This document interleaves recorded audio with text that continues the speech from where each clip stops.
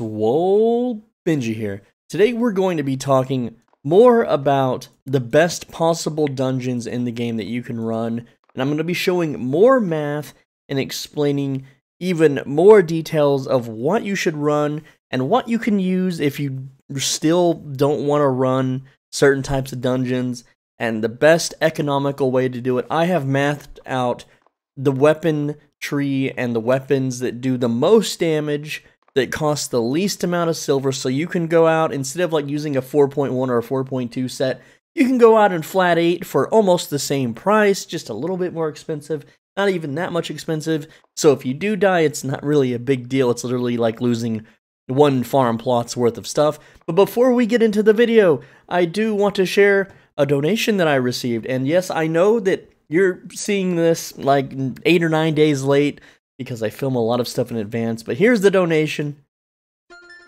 It's not showing up. what the heck? Hey, why isn't it? oh, you know what? That's because, uh, there we go. now it should show up. $200, dude, from Valnak. Holy crap, man. He says, as always, fantastic work in your videos. I really do appreciate Valnak. Also, as always, fantastic work in your videos. Also, thanks for those Steam games you donated, man. Um, I had a lot of fun with that simulator one. I can't see it on YouTube, of course, but it was a funny game. I do appreciate it, man. Thanks again. You're awesome. You're now the number one donator on the channel. So, everyone, big thanks to Valnak. Say big thanks to Valnak in, in the comments, guys. He he absolutely deserves it with that big Chad donation. All right, so let's get back into the video now. And uh, l- let me just kind of explain what I'm going to talk to you today about, okay? So I went through every type of dungeon in the game. I did it on the live realm, I did it on the test realm. And I mathed out how much fame you get per pressing the ability button. So let me explain. Like when I'm in like 8-3 bolt casters, right? Okay. Uh, I, I deal a ton of damage. And if you've watched the channel at all, you know that the Boltcaster's second Q ability, which is this one, where you shoot a rocket, basically you're shooting a giant AoE circle at the ground. This ability has the, one of the highest damage Q abilities in the game.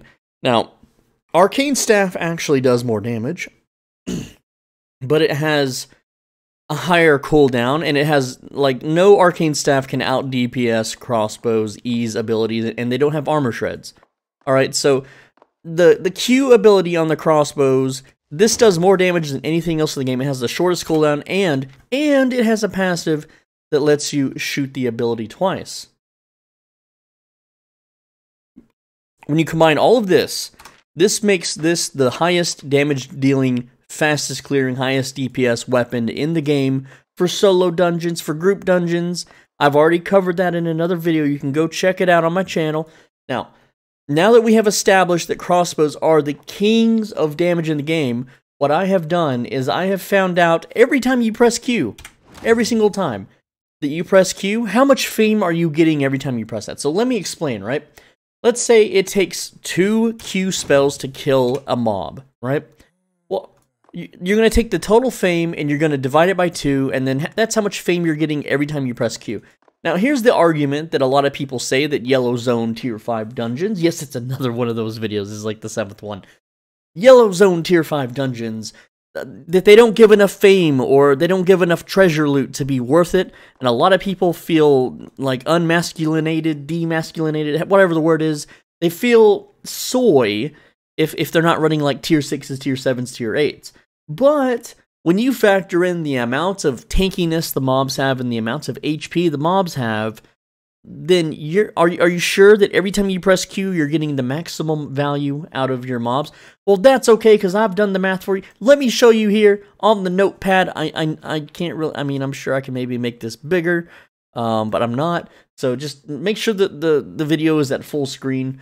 So at 1,844 IP, which is a good quality uh, uh, Boltcasters, let's see if that matches up. I have 1,844. Yes, it does, because I did this on the test realm. As I do all my testing, that's what the test realm is for. All right. So, uh, as you can see here, this is the tier 5 flat zones while faction flagged. you should be faction flagged, so you're getting faction points. You should have your own guild, so you're getting challenge points. You get a 15% fame increase, right? So the Morgana Knight in the Morgana dungeons, they have 1,451 HP. They give 487 fame without an 8-3 satchel. I'm going to get into that later which means it takes three Q spells to kill them, regardless if you have Beef Stew, regardless if you have a Druid Robe maximum stacked, etc. It's still a three hit kill. So that means every time you press Q, you're going to be getting 162.3 fame every single time. Of course, you know, you don't get it until the mob dies, but well, you can kill the mob in three Qs, and that's essentially every time you push the button, that's how much your fame is going to go up. It doesn't sound like much, right? It it, I mean, a single Morgana Knight, it's whatever. But remember, the crossbow is an AoE ability. You can kill multiple mobs at the same time, and so it has the shortest cooldown. But let, let me let me continue on. I, I also mapped out the other mobs. Like all of these mobs here, they give 156 fame, and they die in one Q spell. And then here you have like the Raven. Like you can see the Raven out of all the Morgana mobs in tier 5 gives the most fame per Q spell at uh, 232. So that's like the big juicy mobs that you want to look for. Uh, now, then I, I, went to tier 6 red maps, and these are maps. You, you, go to tier 6 and you pop a map and you go in. The mobs are tankier. Your Q spells do actually less damage because the mobs have more armor. Uh, they also have more HP. Uh, so I mathed out, out all the damage. And then I mathed it out because like I'm not going to take 8.3 in maximum spec to a tier 6 red map. So I, I decided, you know, to do some tests with less IP and then with no IP. Uh, and, and so basically, this is like wearing flat 8. Uh, and this is about how much damage you do. Also, you're not going to be using a stew technically in in those higher tier dungeons because you'll be waiting for your health to regenerate between pulls. So it's really not it's really not statistically ideal to be using stew. Uh, so, uh, to even be at this power level, you would need max spec and flat 8, and flat 8 bolt casters are like 2 million, 8.3 is 4 million for 300 more item power. So, really, but don't worry, I figured this out later. Uh, this is all part of my testing.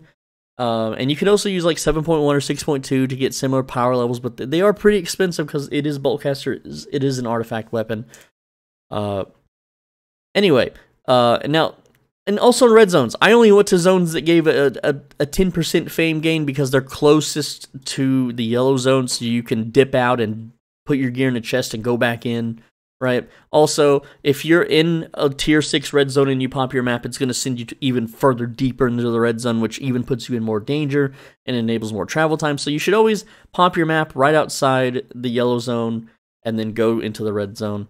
But that's not what this video is about. That's pretty common sense. I'm not going to explain that. So, like in this instance, you can see that a Morgana cultist gives 771 fame. It takes three shots to kill, and that's 257 fame per Q. And you're like, "Whoa, Swole Benji, what's what's going on? Huh? That's more fame per Q than anything uh, up here. That you, that means red zones were better, right? Uh uh uh. That does not mean red zones are better.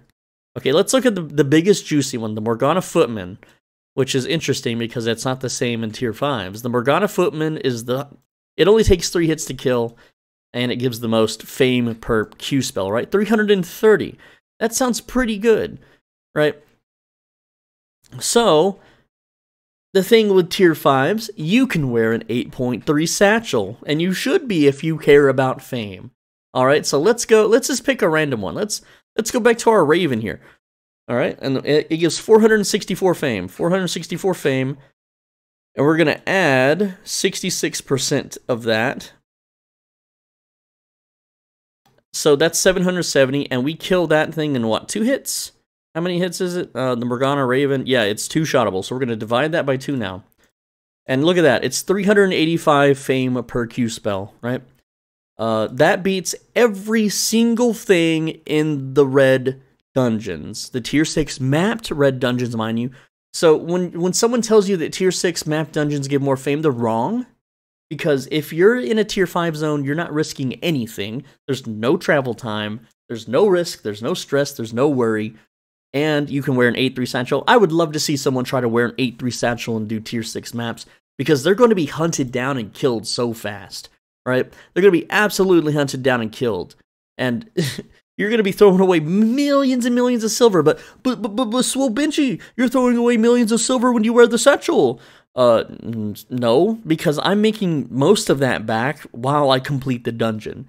On average, I will admit, when I'm doing tier 5 Yellow Zone dungeons and I have an 8 3 satchel, per hour, I am losing 100,000 silver. Per hour. Alright?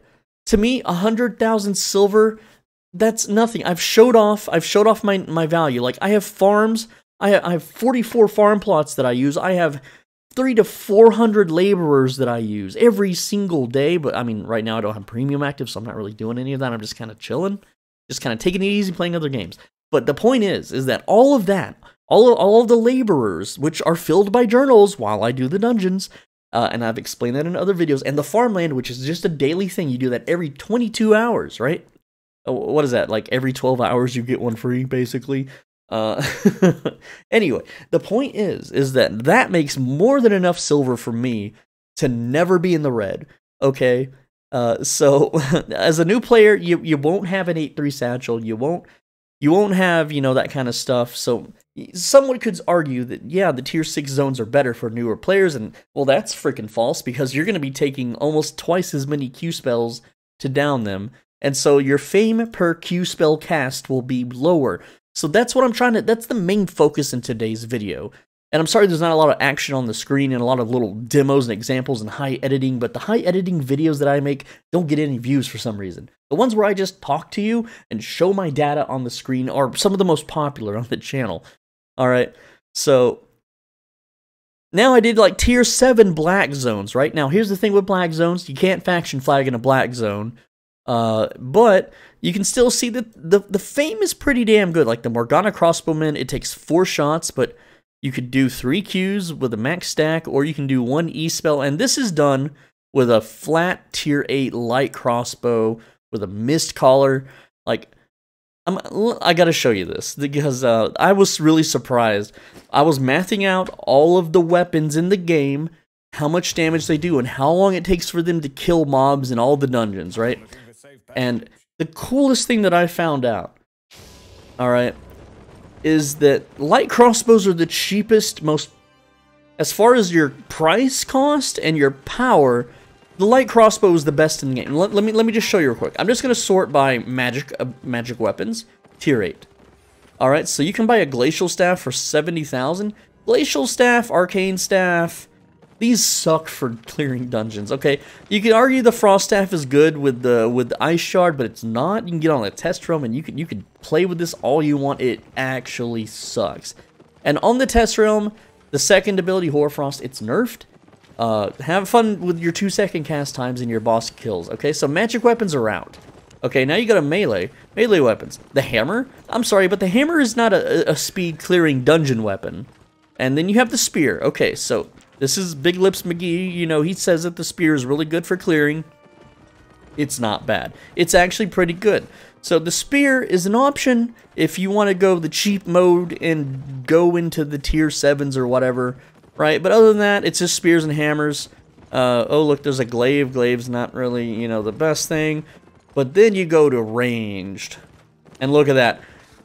Light Elder's Light Crossbow, 54,000. It's 54,000 silver. That's pretty damn cheap for a tier 8 that gives you 1,494 item power.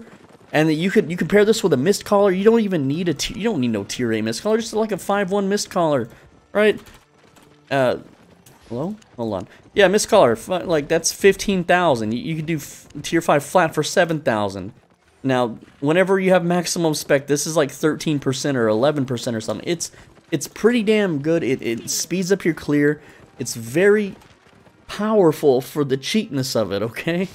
Like, just to compare, like, let me let me show you, like, the big meta weapon that everyone says is the fastest in Corruptions and stuff is a Bear Paw, right? The Bear Paw. Bear Paw, two words? Look, look at this. The cheapest possible bear paw is 195,000 at 4.1. Only 919 item power? Look at this. These clowns think that this weapon is better. They think that this thing is superior. But look, 195,000, 919 item power. Okay, and then you go to fucking crossbows here. You go to ranged. Just clear that out. Tier 8. Tier 8 light crossbow. 1,494 item power. 54,000. I'm sorry, what? Why are these so cheap? I, I don't know. I, I don't know why they're so cheap. but holy craps, like, guys, I've already told you at the start of the video that light crossbows, or just crossbows in general, have the strongest Q ability in the game. They have the, the, the fastest mob clearing. They're, they're the meta for hardcore expeditions. And they're the cheapest. Why is the most powerful weapon the cheapest? Why? Why is that? Okay? Like, I'm sitting here using these 8.3 bolt casters that cost 5 million. And I have, I do have a, a you know, an 8.3 that costs 1.3 million in the light crossbow. Like, uh, I'll admit, the bolt casters do kill bosses faster than light crossbow. They kill them much faster. Light crossbow clears trash faster. If I'm if I'm gonna go into the black zone, I'm gonna risk fifty thousand, no problem. That's that's chump change. That is that is nothing. And uh, like I'm only losing 300 item power, which is about 120 damage on my Q spells. That's it. Like 8 tier 8 flat and tier 8.3 it's 120 damage difference on your q spell which you know in a tier 5 yellow zone that's pretty big. Uh, but in a tier 7 you know that's like maybe one extra cast. One extra cast that's not bad. Anyway let's go back to the data. I, I just want to talk about the data now. Remember you, you can't get faction points in a tier 7 black zone and you can see here that um, like the Morgana Crossbowman gives 326 there. There's a 300. The Morgana Footman again. The the big chan, the big Chad of the tier seven black zones. These are mapped by the way. Th this is a tier seven black zone map. Um, the Morgana Footman gives 366 fame per Q cast with a flat 8 light crossbow, 5-1 Mistcaller druid robe, stalker hood, leather shoes. Uh, you know, just using a cabbage soup. That's not bad. That's actually pretty good. This is actually single digits more fame per Q spell than doing tier 5s with an 8-3 satchel. Single digits more. Okay, so if you were to do this a full hour, you're going to get more fame in a tier 7 Black Zone. Are you happy, Reddit? I said it. I said the word. It's a Bart Simpson meme where they all cheer in the classroom, right? It's single digits. It's single freaking digits. You're going to the tier 7 black zone. You're traveling out there. You're waiting 90 seconds for the portal to close behind you because you're scared of gankers.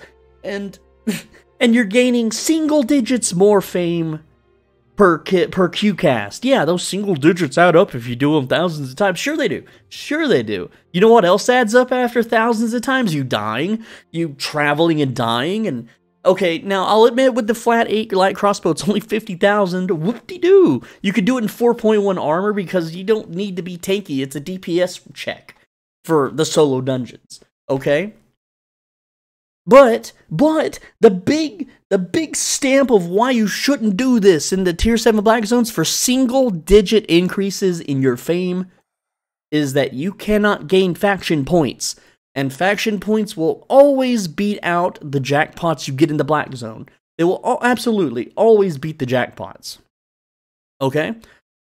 Now, I also tested Hunter Corrupted Dungeons, and, and this data, this data is really scary. Everyone's like, oh, Hunter Corrupted Dungeons, dude, they're better than the solo dungeons, bro. I'm gonna blow that out right now. I'm blowing that out. I'm completely eliminate it. The IP cap is 800 in Hunter Dungeons, so you can't, you just use 4.1 or flat 4 if you're max spec, it's whatever, right? Uh, I'm doing this with 32,000 Infamy, which is a 60% gain in Hunter difficulty. Uh, and most players, I'm going to tell you right now, the average player, they have they have over 100,000 infamy, okay? I'm not good at Corrupted Dungeons. I'm getting better. i have been studying the metas just so I can get my points up there, just so I can, you know, like play with the big boys, I guess. Throw my money away. Just throw your money away. That's two Simpsons memes in one episode. The, the point is, you, you can wear an 8-3 satchel, alright? But here's the thing. L look at the Deranged Heretic Arbalist. He has 940 HP, but it takes 6 Q spells. Okay, now I will admit, I'm using a, a PvP build, which is the Bolt Casters, the Mercenary Jacket, Guardian Helmet, and Soldier Boots. That is a meta build that will win you like 80% of fights. You'll, you'll lose to Grail Seeker. Uh, if you suck, you'll lose to Black Hands and uh, Hallowfall and, and the, the Frost Staff. I forget the name right now. I'm not looking it up. I don't care enough. Right? So you're getting 111 fame per Q spell. That's That's three times less than the tier 7 black zone. That's three times less than a tier 5 yellow zone with satchel. Okay? And yeah, you, you, you could satchel this up. You, you could. A 66% increase is going to make this like 170 fame per queue. It's it's like half as it's half as good as a tier 5 yellow zone, dude. It's half as good. All right? And it takes you longer to clear and you lose durability every time you get downed by a meta build, okay? Uh, but but the the the different option is like if you're a brand new character and you can only wear 4.1, then it's not bad. It's not bad, okay? There, I said it again, Reddit. I said it again for you. Okay. Uh, and then uh, I tested Stalker Corrupted Dungeons. Okay. Stalkers got a little better, right? Uh, again, I only have a 38% increase in Stalkers because of my low infamy. And like an Infernal Monstrosity gave 263 on average per Q, Q cast. That was like the best one I could find. Okay. That's that's on par. That's like on par with tier 5 Yellow Zone dungeons. Okay.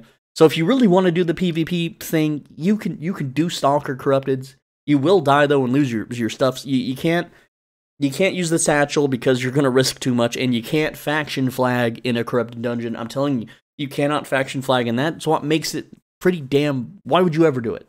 Okay, and then I, I didn't write down my data too much because I was kind of getting in a hurry here. But uh, tier six Avalonian static solo dungeons. Okay, this is the winner. If Dude, good luck ever finding an Avalonian static solo dungeon ever again. There's so many people in private discords that have these mapping tools that map this crap out. Like, they just have a guy run around and use a program that automatically does it. It's super bannable, but there's no way that SBI can track it. I, I've been in guilds discords, and they use this shit in all of the big ones. It's so unfair for us solo players, man. And no, my Discord will never have such hacks. That's against the rules. SBI would love to ban me, and I'm not going to do any kind of shady shit like that so I can get banned. I'm not doing it. I don't recommend you do it. But um essentially uh it, it, was like 400 something fame per QCast. It was 100 to 200 more than a yellow zone. 1 to 200 more. So it's like double. It's like being in a tier 10 zone. And this is only a tier 6. Okay, tier 6 Avalonian static solo dungeon. Uh you know, that means like the the, the zone is uh, tier 5 or tier 4. It, it can be like one or two up or below. It, Avalonians are weird how they work, but if you ever found a static solo dungeon that's not cleared, dude, those things are packed with people, man. You're, that's the old school experience. You're gonna be ganked in there. You're gonna be attacked. Every time I go in one, I get attacked. Every time I go in one, I'm killing people inside of them on my alt. Uh, that's that, that's just to relive the old school experience. But you know, then you have to get home with the loot. You get a 610% chest bonus. Okay, what this means? Okay, like right now, we're gonna take 610 and we're gonna divide it by like 57%. That's the yellow zone bonus. Uh, whoops. Uh, hold on. clear, clear. 610 divided by 57. So you do one tier six static solo dungeon, and it's like you did 10 Yellow Zone dungeons in terms of loot. Okay? And uh, you you pretty much jackpot every single time if you manage to find one. But I, I did I did multiple tests over the past couple days trying to make Avalonian static solo dungeons like the next thing, like the big boy in-game solo dungeon Chad thing, right? On average, I was able to find one dungeon every two hours that wasn't cleared. One, one dungeon every two hours. I can clear 17 yellow zone dungeons, and I can be faction flagged while I do it per hour on average. Uh, sometimes more, sometimes less. You know, it really depends. Uh, but you, do one tier 6 Avalonian static every two hours, or you do 17 yellows while getting faction points. It's your choice, it's your life. You can play however you want. All right, well, that's pretty much the video. Uh, hopefully, this educated you, okay? This educated you that uh, the value of fame you're getting every time you cast a Q spell, and it can be argued that I, am I'm, I'm testing it with maximum spec, I'm testing it with crossbows, I should test it with other weapons, and my counter argument is that, well, crossbows do the most damage, they have the highest DPS, and if it's the best at max spec, it's the best at least spec. So if I'm comparing a crossbow with no spec to a great axe with no spec, the crossbow will still win, even if the great axe has max spec and the crossbow has max spec. There's no reason to do it. The point is, is that to get the most value out of every single action that you take in this game, Tier 5 Yellow Zone dungeons with compounding allow you to earn the most silver and the most fame per hour. And that's that. I, I don't know how many more times I have to tell you guys this, but what more math can I show you? There's the proof. Anyway, my voice is dying. I'm Swole Benji. Thanks for watching. As always, be a bro and stay swole. Make sure you return your shopping carts, and I'll see you in the next one.